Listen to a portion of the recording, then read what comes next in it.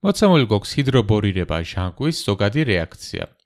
ამ რეაქციის დროს ალკენს ვიღებთ და ვარეაგირებთ ჯერ ბორის ჰიდრიდთან გახსნილი ტეტრაჰიდროფურანში, რომელიც არის გამხსნელი და შემდგომ ვაურთიერთქმედებთ პეროქსიდთან და ჰიდროქსიდის წყაროსთან, მაგალითად ნატრიუმის ჰიდროქსიდთან. შედეგად კი ვიღებთ ალკოჰოლს, სადაც რეგიოქიმიის მიხედვით OH-ი დაკავშირებულია ნაკლებად ჩანაცვლებულ ნახშირბათთან. ანუ მიმდინარეობს ანტიმარკოვნიკოვის წესით. ხოლო რაც შეეხება სტერეოქიმიას, ეს არის სინ დამატება, ანუ OH და H ერთი მხრიდან უერთდება ორმაგ ბმას. განვიხილოთ ჩვენი პირველი მაგალითი. მოცემული გვაქვს ალკენი და უნდა ვაურთქიერთქმედოთ შემდეგ რეაგენტებთან. ანუ მიდის ჰიდრობორაცია ჟანგვის რეაქცია. ვიცით რომ რეგიოქიმია არის ანტიმარკონიკოვის, შესაბამისად OH-ი უნდა მიუერთდეს ამ წვანე ნახშირბათს, ხოლო წყალბადი კი ამ წითელ ნახშირბათს. დავხატოთ საბოლოო პროდუქტი. გვაქვს უკვე ერთმა გიბმა და ამ ერთმა გმასთან დაკავშირებულია ახალი OH. სიმარტივისთვის ეს იყო წვანე, უბრალოდ წითელი ნახშირბადი და ეს წვანე ნახშირბადი. რეგიოქიმიას, სტერეოქიმიას აქ დიდი მნიშვნელობა არ აქვს, იმიტომ რომ არ გვაქვს ქირალური ცენტრები. გადავიდეთ შემდეგ მაგალითზე, რომელშიც უკვე გვექნება ქირალური ცენტრები. ამჯერადაც ნაკლებად ჩანაცვლებულს, ანუ ამ ნახშირბათს უერთებთ OH ჯგუფს, მაგრამ ამ შემთხვევაში ქირალური ცენტრი წარმოგვექნება. ეს ნახშირბადი არის ქირალური ცენტრი ამ მოლეკულის. ახლა განვიხილოთ თუ როგორ კონფიგურაციას მივიღებთ ამ რეაქციის განხორციელებისას.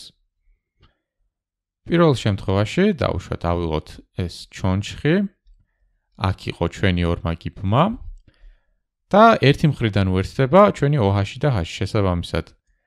აქეთ იქნება OH და ასევე ჩვენკენ იქნება H. რა დარჩა ამ ნახშირბადებთან? დარჩა მარჯვენა ნახშირბაძე წყალბადი, ხოლო მარცხენა ნახშირბაძე კი მეთილის ჯგუფი, რომელიც ჩვენი საპირისპირო მიმართულებით იქნება. სხვანაირად რო დავხატოთ, ეს იქნება ასეთი პროდუქტი. მარცხენა ქირალური ცენტრი არ არის, ამიტომ მეთილების ორივე ჯგუფი შეგვიძლია ერთ სიფრთხეში გავაკეთოთ. აქ არის ჩვენი მარჯვენა ნახშირბადი, ჩვენკენ არის OH ჯგუფი. და აქ არის კიდევ მეთილის ჯგუფი. წყალბადი არ გვაქვს დახატული, უბრალოდ ასე იქნებოდა ჩვენი წყალბადი. მეორე შემთხვევაში, მოდი ცოტა ჩამოვწევ.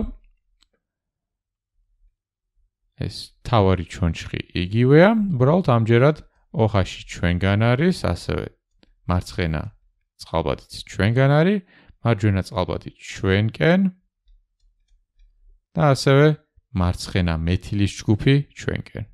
სიგივეა რაც შემდეგნაირი სტრუქტურა. მარცხნივ არ გჭირდება დაკონკრეტება, ხოლო მარჯვნივ ოხაში არის ჩვენი საპირისპირო მიმართულებით. ეს ორი ნაერთი კი არის ერთმანეთის ენანტიომერი. განვიხილოთ კიდევ ერთი მაგალითი. მოცემული გვაქვს ისევ ჰიდროპორირების და ჟანგვის რეაქცია. რა თქმა უნდა, ოხაში აქ მივერთება, რადგან ანტიმარკოვნიკოვი გვაქვს და შემდეგნაირ პროდუქტს მივიღებთ. მაგრამ როგორც ხედავთ, წარმოგვექმნა ორი ქირალური ცენტრი, ერთი აქ და მეორე აქ. ახლა განვიხილოთ სტერეოქიმია. ციკლოჰექსანი ასეთი კონფიგურაციის, ну, კონფიგურაციის სიფსული ჯერ არ გვჭირდება, უბრალოდ ავიღებთ ჩვენს ორ მაგმას და ჯერ ჩვენი მხრიდან მივერთებთ. OH-ს H-ს რადგან ჩვენ მხარეს არის H-ი ამ ნახშირბადის CH3 ანუ მეთილის ჯგუფი იქნება ჩვენი საპირისპირო მიმართულებით. ეს იგივეა რაც ასეთი ნახატი.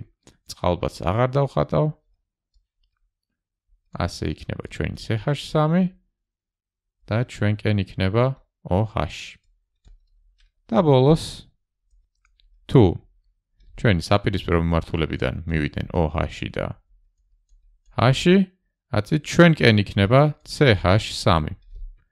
შედეგად კი მივიღებთ ასეთ ნაირთს.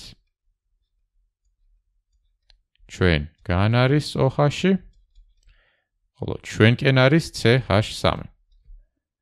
ეს ორი ნაერთი კი ერთმანეთის ენანტიომერია.